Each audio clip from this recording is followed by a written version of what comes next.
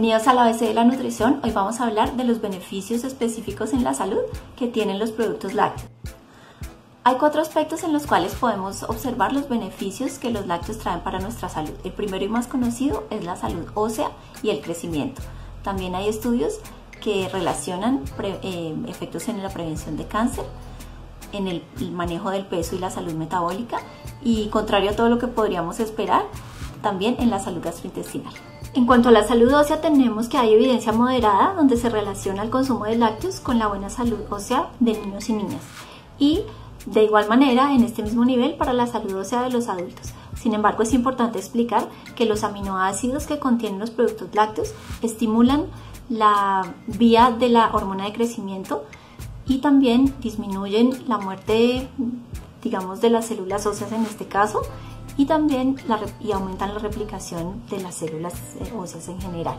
Este sería como el mecanismo por el cual se puede evidenciar que hay un aumento en la velocidad de crecimiento lineal y que esto pues en definitiva nos va a determinar la talla final que vamos a tener cuando adultos. Sin olvidar que esto también va a tener una relación con la preservación de la masa ósea a medida que vamos envejeciendo. En cuanto a la prevención del cáncer, el consumo de lácteos está asociado con una reducción del riesgo del cáncer de colon y también del cáncer de mama.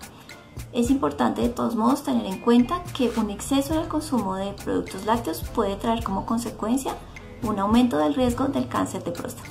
En cuanto al tercer aspecto de la salud metabólica y el control de peso, podemos encontrar estudios que nos indican con una cierta, cierto nivel de evidencia, es decir, moderado, que puede haber una relación inversa entre el consumo de lácteos, ya sean enteros o descremados, en el control del peso, la hipertensión, la diabetes e incluso en el control de la aparición de la enfermedad cardiovascular. También se encuentra literatura la cual respalda que el consumo de lácteos puede estar relacionado con una reducción de los niveles de marcadores inflamatorios. Cabe resaltar que para estos beneficios metabólicos y de peso no se encontraron diferencias significativas entre el uso de leche baja en grasa o leche entera. Los invito a que revisen para el cuarto beneficio en la salud gastrointestinal los primeros videos que realizamos en esta sección de los lácteos acerca de la lactosa. Nos vemos la próxima semana.